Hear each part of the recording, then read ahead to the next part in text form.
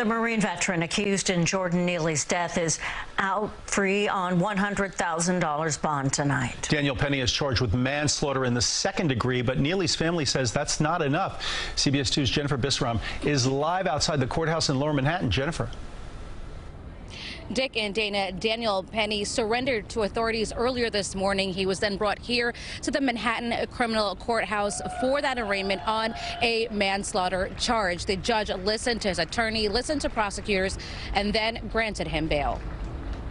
Marine veteran Daniel Penny surrendered to authorities Friday morning at the 5th Police Precinct in Manhattan to face a second degree manslaughter charge in the chokehold death of Jordan Neely. He did so voluntarily and with the sort of dignity and integrity that is characteristic of his history of service to this grateful nation.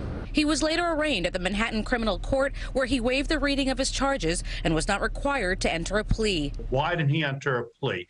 It's because the grand jury hasn't yet indicted him and the people, the prosecutor, plan to bring this before a grand jury. During the arraignment, Penny's attorneys told the judge Penny has been cooperating with police and the district attorney's office, has strong ties to New York City, attends a four-year college and is pursuing a bachelor's degree in architecture, enlisted in the Marine Corps when he was a teen and spent four years there before he was honorably discharged. They also said Penny earned multiple medals and ribbons for good conduct while serving. The judge granted bail, which was set at $100,000, and Penny walked out of the courthouse With his attorneys. Attorneys for the family of Jordan Neely spoke before Penny's court appearance, calling for more serious charges. Neely's father and aunt stood by in silence, too distraught to speak. The consequences of manslaughter, too, is 5 to 15 years. Ask yourself, is that enough? Is that enough for someone who choked somebody out on the train and took their life? 5 to 15 years.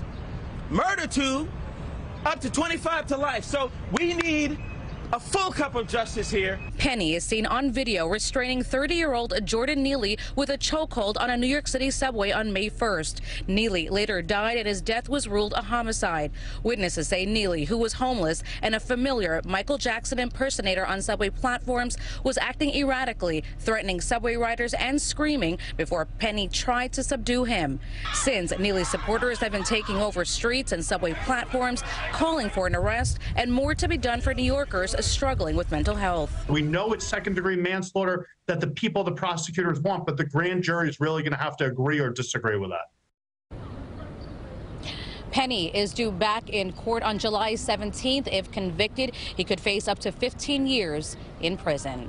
We are live in Lower Manhattan. Jennifer Bisram, CBS 2 News. Thank you, Jennifer. Manhattan District Attorney, uh, pardon me, Alvin Bragg released a statement after the arraignment. The DA said the investigation has included numerous witness interviews and a careful review of the video.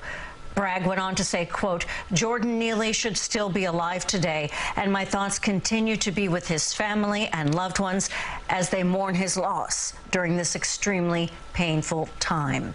Stay with CBS 2 News and our streaming channel, CBS News New York, for continuing coverage on the subway chokehold arrest.